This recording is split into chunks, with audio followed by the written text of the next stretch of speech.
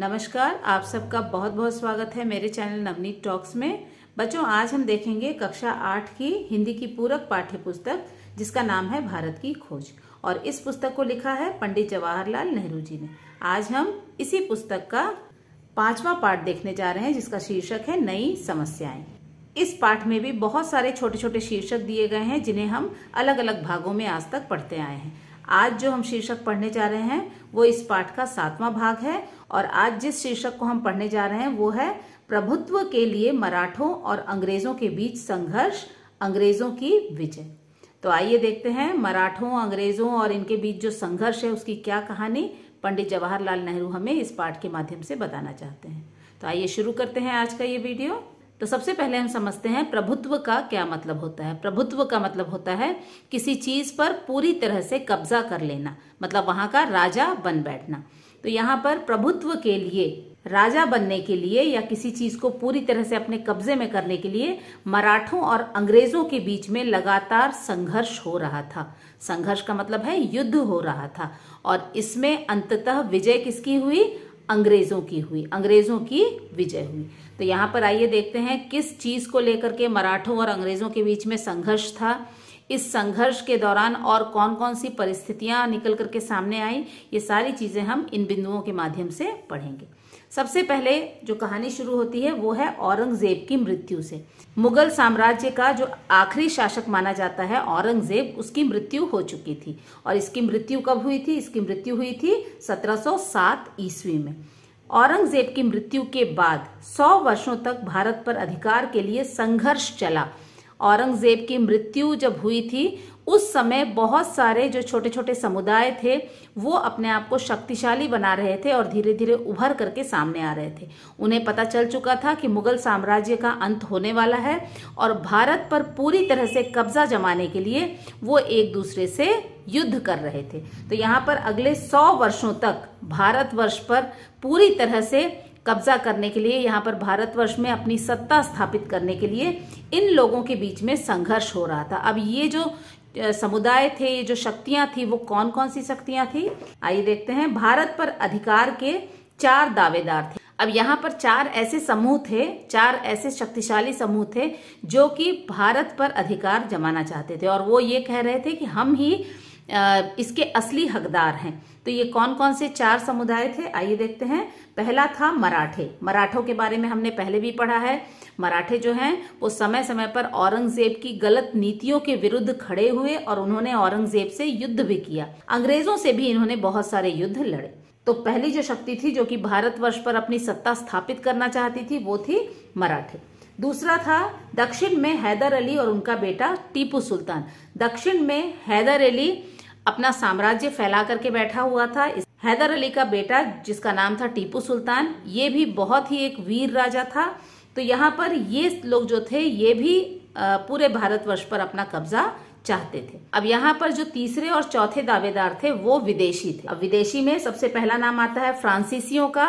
फ्रांसीसियों की संख्या भी यहाँ पर भारत में बहुत ज़्यादा थी, और वो भी कहीं ना कहीं ये चाहते थे कि पूरे भारत पर उनका शासन चलना शुरू हो जाए। तो ये भी इस चीज़ के लिए संघर्ष कर रहे थे, युद्ध कर रहे थे। और जो अंतिम दावेदार थे, वो थे अंग्रेज़। अंग्रेज़ों का भी धीरे धीरे साम्राज्य यहाँ बढ़ रहा था, उनकी शक्ति बढ़ रही थी, और वो भी यही चाहते थे कि पूरे भारत को वो अपने कब्जे में ले लें। तो ये जो चार दावेदार थे, इनमें युद्ध हो रहा था। समय समय पर इनके बीच में संघर्ष चल रहा था। तो आइए देखते हैं आगे क्या होता है। अब यहाँ पर ये जो चार दावेदार बताए गए हैं, मराठा, हैदर अली और उनका बेटा और फ्रांसीसी और अंग्रेज़, इन चारों दावेदारों में सबसे ज़्यादा शक्तिशाली दावेदार कौन था? तो यहाँ पर मराठे शक्तिशाली दावेदार थे। लोगों को ये लगता था कि मराठे जो हैं, उनकी राजनीतिक व्यवस्था भी बहुत ही अच्छी है। शासन को चलाने के जो नियम कानून है, वो बहुत ही सशक्त हैं। और दूसरी जो चीज़ जो इन्हें काफ़ी शक्तिशाली बनाती थी, वो थी इनकी सैन्य शक्ति। इनके सैनिक जो थे, वो बहुत ही साहसी योद्धा थे। और इसीलिए मराठों को सबसे ज़्यादा शक्तिशाली माना जा रहा था। मराठे मुगल शासन के उत्तराधिकारी लग रहे थे। ऐसा लग रहा था कि मुगल शासन, जिसका कि अब लगभग अंत होने वाला है उसके उत्तराधिकारी मतलब कि एक राजा के जाने के बाद जो दूसरा उस सिंहासन पर बैठता है और राज का संभालता है, उसे उत्तराधिकारी कहते हैं। तो बिल्कुल ऐसा ही लग रहा था जैसे कि मुगल शासन के बिल्कुल समाप्त हो जाने के बाद मराठे उस जगह को भरने वाले हैं, उस सिंहासन पर मराठे ही बैठने वाले हैं। आगे है, पूरे भारत पर मराठे राज करेंगे। लोगों को यही लग रहा था कि मराठे जो इतने शक्तिशाली हो चुके हैं, अब जल्दी ही पूरे भारत पर मराठों का शासन कायम हो जाएगा। लेकिन यहाँ पर मराठे जो हैं, अपने आप को इतना शक्तिशाली बना रहे थे और भारत पर राज करने के सपने देख रहे थे। लेकिन तभी कुछ ऐसी घटना घटी जिसके कारण जो पूरी जो स्थिति थी वो बिल्कुल उलट गई। अब वो क्या घटना थी? उत्तर पश्चिम से नए आक्रमणकारी का प्रवेश। उसी दौरान भारत के उत्तर पश्चिम दिशा से एक आक्रमणकारी का, एक हमलावर का प्रवेश भारत में हुआ। ये हमलावर कौन था? सत्रह में नादिर शाह का दिल्ली पर आक्रमण। यहाँ पर नादिर शाह नाम का एक आक्रमणकारी था जिसने सत्रह में दिल्ली पर आक्रमण कर दिया। अब ये जो नादिर शाह था, ये कहाँ से आया था? ईरान का आक्रमणकारी था। ये ईरान से भारत में इसने प्रवेश किया था। अब इसने यहाँ पर आकर के क्या किया? भयंकर मारकाट और लूटपाट किया। दिल्ली में खासकर इसने भयंकर मारकाट किया, लोगों को मारा मुगल साम्राज्य, जो कि बहुत ही समृद्ध साम्राज्य माना जाता था, वहाँ पर उसने जमकर लूटपाट किया। भारत से बेशुमार दौलत अपने साथ ले गया। भारत से उसने बहुत सारी दौलत जो है, खजाना जो है, अपने साथ वो वापस ले गया। अब यहाँ पर प्रसिद्ध तख्तोताउस भी ले गया। तख्तोताउस एक इस तरह का सिंहासन था, जिसे कि मयूर सिंहासन भी कहा जाता है। मयूर सिंहासन इसे इसलिए कहा जाता है क्योंकि इस सिंहासन के पिछले भाग में दो मोर बने हुए थे, नाचते हुए मोर बने हुए थे, ये और ये अपने आप में बहुत ही सुंदर सिंहासन था। इस सिंहासन को शाहजहां ने बनवाया था। जब भी वो राज दरबार में होता था तो वो इसी सिंहासन पर बैठा करता था। इसी सिंहासन में कोहिनूर हीरा भी जड़ा हुआ था, जिसे बाद में अंग्रेज़ जो है अपने साथ लेकर के चले गए।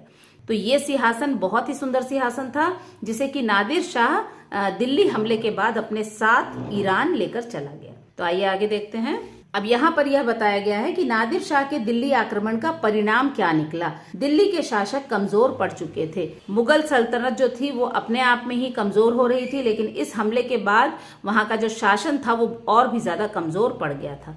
मराठों से नादिर शाह का सामना नहीं हुआ। नादिर शाह जो था, सिर्फ़ दिल्ली पर ही उसने हमला किया, वहीं पर उसने लूटपाट किया, लेकिन मराठों के साथ उसका कोई भी युद्ध यहाँ भारत में नहीं हो पाया। मराठों के साथ उसका सामना ही नहीं हुआ। दिल्ली का कमज़ोर पड़ना मराठों के हित में था। नादिर शाह के हमले की वजह से दिल्ली की सल्तनत और ज़्यादा कमज़ोर हो गई थी और इस चीज़ का फ़ायदा जो है वो मराठे उठाना चाहते थे। मराठों ने इसका फ़ायदा उठाया। दिल्ली की सल्तनत के कमज़ोर पड़ जाने का पूरा फ़ायदा मराठों ने उठाया। अब उन्होंने क्या किया? मराठों ने पंजाब तक कब्जा जमा लिया। अब मराठे जो हैं, दिल्ली के कमज़ोर पड़ते ही, मुगल शासक जो वहाँ पर उस वक्त थे, उसके कमज़ोर पड़ते ही उन्होंने क्या किया? वहाँ हमला कर दिया और पंजाब तक उन्होंने अपना कब्जा जमा लिया। ऐसा लगा जैसे मराठे ही भारत पर राज करने लगेंगे। और यहाँ पर मराठे इतनी तेज़ी से राज्यों को जीत रहे थे, अपने कब्जे में ले रहे थे इससे लोगों को यही लग रहा था कि अब वो दिन अब दूर नहीं है, जबकि मराठे जो है वो पूरे भारत पर राज करने लगेंगे। नादिर शाह के हमले से मुगल शासकों का अंत निकट लगने लगा। अब यहाँ पर नादिर शाह ने दिल्ली पर हमला करके वहाँ की स्थिति इतनी खराब कर दी थी कि ऐसा लगने लगा कि जो थोड़ी बहुत शक्ति मुगल शासकों में बची हुई है, वो भी बिल्कुल खत्म हो चुकी है और अब उनका अंत जो है वो निकट है। तो आइए आगे देख लेते हैं। इसके बाद है मुगल शासकों की बदतर स्थिति। नादिर शाह के हमले के बाद जो दिल्ली के जो मुगल शासक थे, उनकी स्थिति बद से बदतर होती जा रही थी। मतलब बहुत ही ज़्यादा खराब होती जा रही थी। ये सारी चीज़ें हमें कैसे पता चलती हैं? आइए हम देखते हैं इन बिंदुओं के अंतर्गत। राज्य पर अधिकार और दावा खत्म हो चुका था। मुगल शासक जो थे, उनका अपने ही राज्य पर कोई अधिकार नहीं रह गया था और दावा कुछ भी वो क्लेम नहीं कर सकते थे। दावा का मतलब होता है क्लेम करना। किसी भी चीज़ के लिए वो वहाँ पर क्लेम नहीं कर सकते थे। उनका दावा भी बिल्कुल अपने ही राज्य से खत्म हो चुका था। दूसरे शक्तिशाली राज्यों के हाथों की कठपुतली बन गए थे। मुगल शासकों की हालत इतनी खराब हो गई थी कि जो आसपास के जो शक्तिशाली राज्य थे, वहाँ के जो शासक थे, जिस तरह से बोलते थे, जैसा उन्हें कहते थे, वही उन्हें करना पड़ रहा था। लगभग वो कठपुतली की तरह दूसरे शक्तिशाली शासकों के हाथ में नाच रहे थे।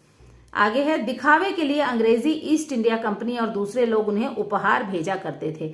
लेकिन अभी भी अंग्रेज़ों की जो ईस्ट इंडिया कंपनी थी, वो उन्हें शासन से नहीं हटा रही थी और समय समय पर उन्हें उपहार भी भेजा करती थी। 1835 ईस्वी तक दिल्ली के बादशाह के नाम के सिक्के भी चला करते थे। और यहाँ पर सदियों से ऐसा होता आया था कि जो भी शासन करता था, जो भी राजा होता था, उसके नाम से सिक्के निकाले जाते थे। तो 1835 तक भी जो भी वहाँ के बादशाह के सिक्के चल रहे थे, वो अभी भी बाज़ार में उसी तरह से सिक्कों का प्रयोग किया जा रहा था। कंपनी कंपनी का मतलब है जो ईस्ट इंडिया कंपनी अंग्रेज़ों द्वारा बनाई गई ईस्ट इंडिया कंपनी दिल्ली के बादशाह के एजेंट के रूप में काम किया करती थी। एक समय ऐसा था जबकि जो ईस्ट इंडिया कंपनी थी, अंग्रेज़ जो थे, वो दिल्ली के बादशाह, जो भी शक्तिशाली बादशाह हुआ करते थे, उनके लिए एजेंट की तरह वो काम करते थे। तो आइए आगे देख लेते हैं।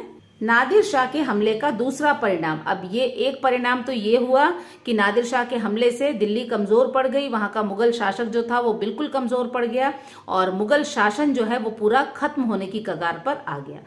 लेकिन इसका दूसरा एक और परिणाम था। वो परिणाम क्या था? आइए देखते हैं इन बिंदुओं के अंतर्गत। अफ़गानिस्तान भारत से अलग हो गया। अफ़गानिस्तान एक समय भारत का अभिन्न हिस्सा माना जाता था।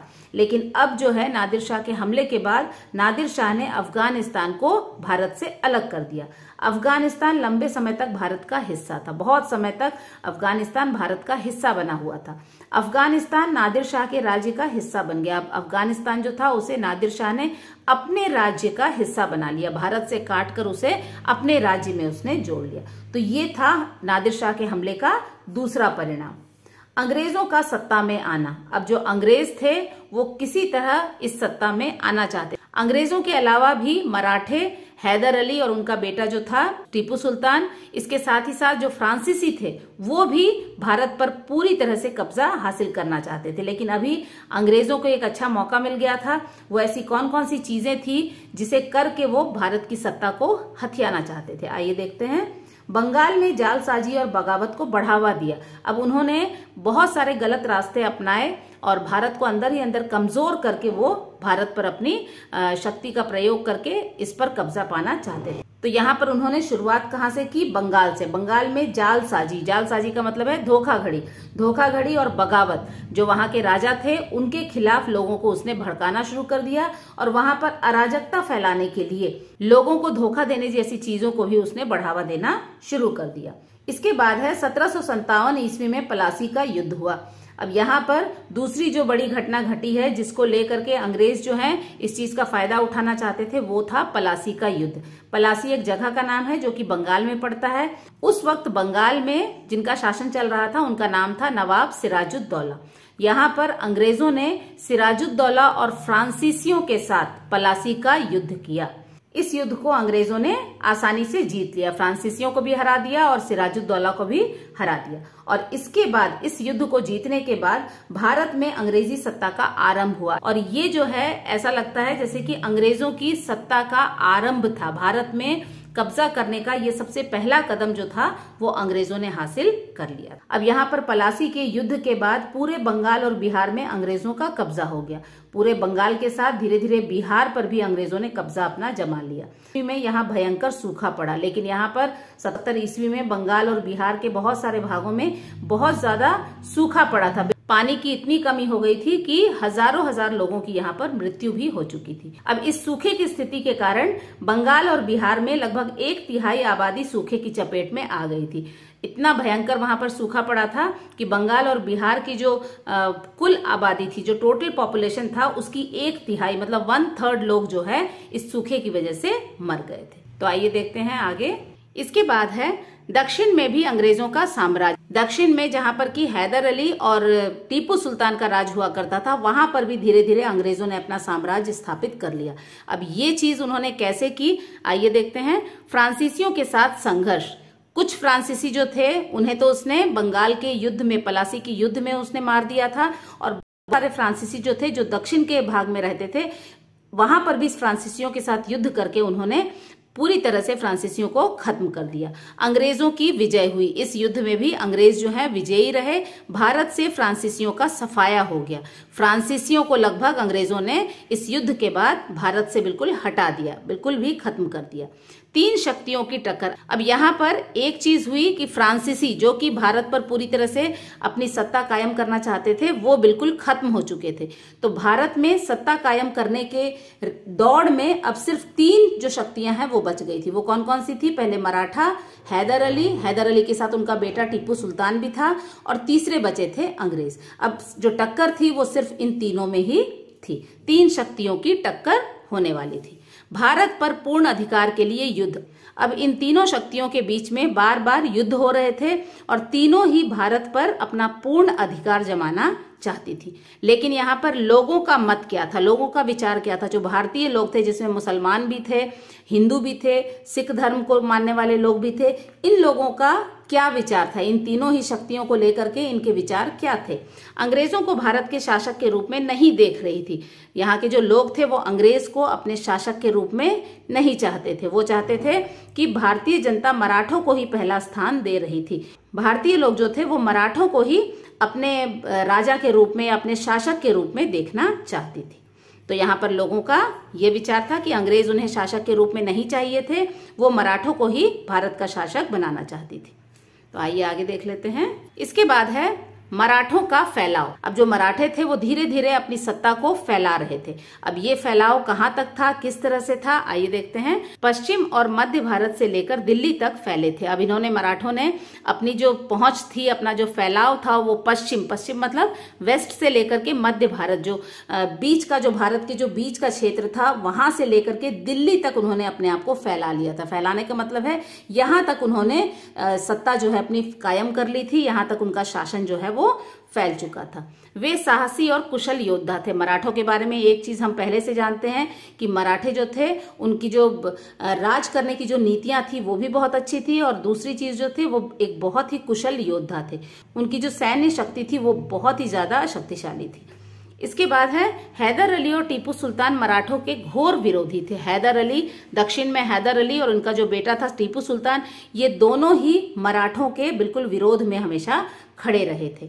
इन्होंने अंग्रेज़ों को भी बुरी तरह हराया था। हैदर अली और टीपू सुल्तान जो थे, वो सिर्फ़ मराठों से ही द्वेष नहीं रखते थे, बल्कि अंग्रेज़ों से भी समय समय पर उनके युद्ध जो है, हुआ करते थे। और एक युद्ध में उन्होंने अंग्रेज़ों को बुरी तरह से हरा दिया था। अंग्रेज़ों को हराने की वजह से उस समय ईस्ट इंडिया कंपनी की शक्ति को खत्म कर दिया। उन्होंने बिल्कुल भी ईस्ट इंडिया कंपनी को कमज़ोर कर दिया और उनकी शक्ति को भी उन्होंने खत्म कर दिया था।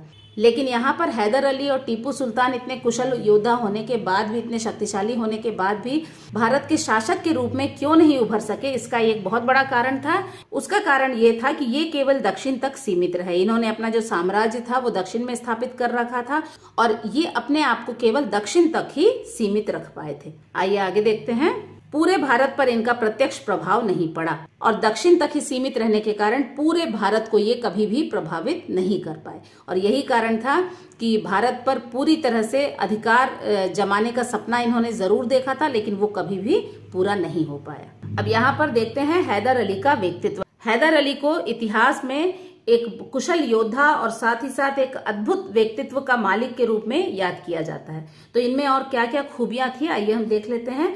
अद्भुत व्यक्तित्व के स्वामी थे। ये तो हमने पहले ही देखा है कि हैदर अली जो थे, इनका व्यक्तित्व जो है बहुत ही जादुई किस्म का था और बहुत ही अद्भुत व्यक्तित्व के ये स्वामी थे।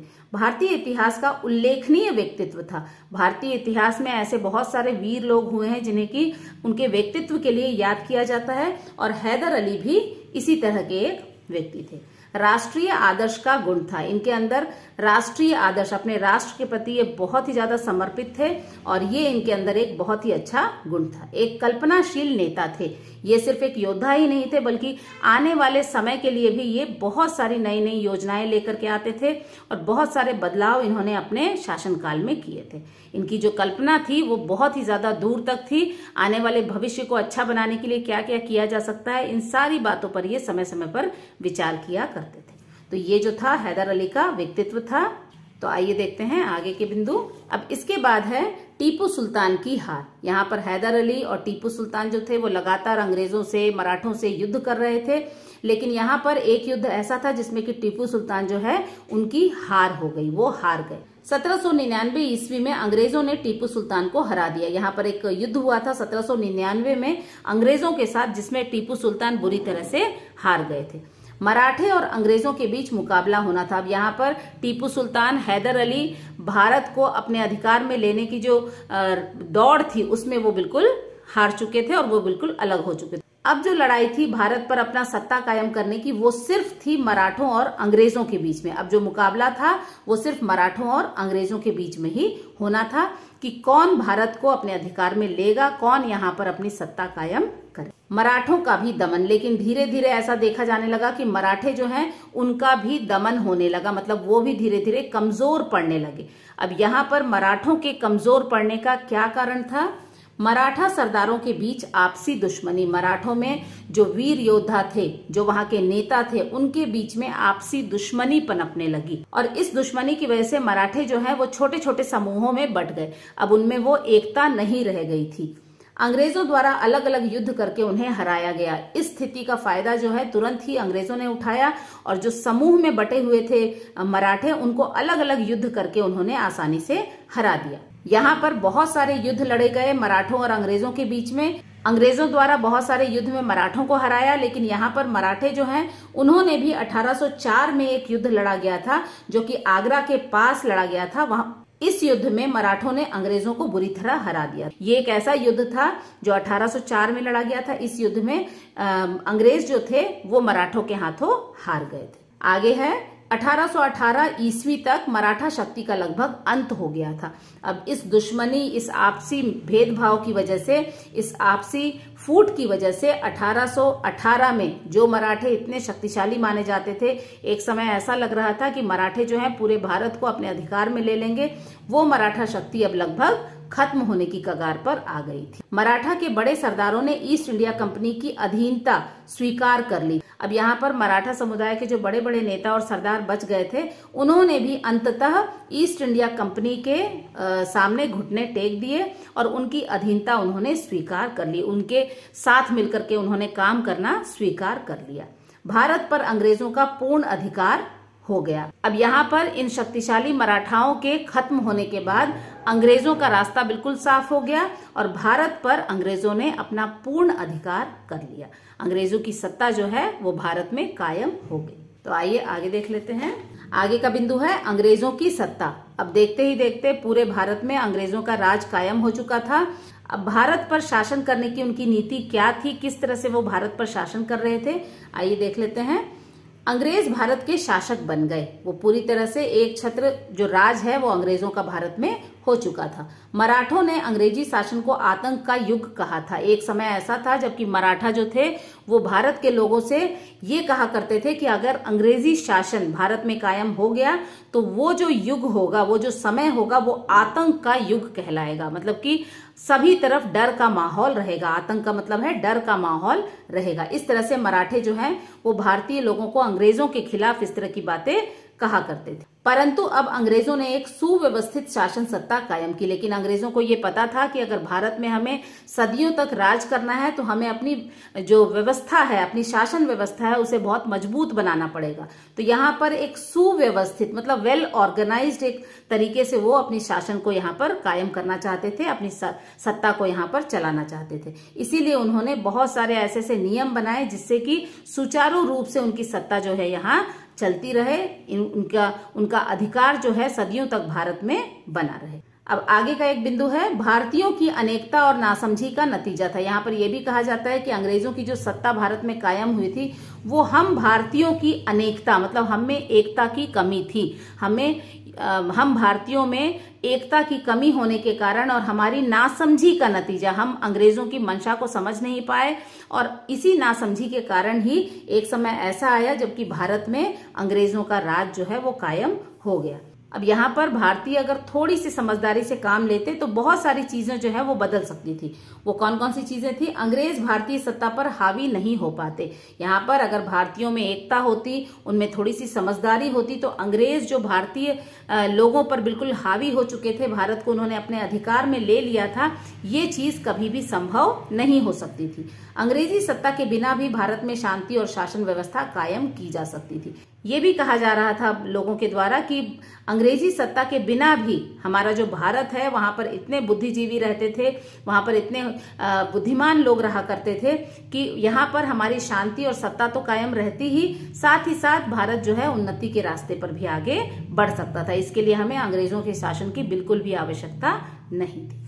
तो यहाँ पर भारत में अंग्रेज़ी शासन जो है, वो कायम होने के बाद लोगों को अपनी गलती का एहसास हुआ। तो बच्चों, इस तरह से ये जो शीर्षक है, वो यहाँ पर खत्म होता है। आशा है आप लोगों को ये जो शीर्षक है, इन फ्लो चार्ट्स के माध्यम से अच्छे से समझ में आ गया होगा। इस पाठ के जो बचे हुए शीर्षक हैं, उनका भी वीडियो आपको जल्दी ही मिल जाएगा। तब तक के लिए अपना ध्यान रखें। नमस्कार।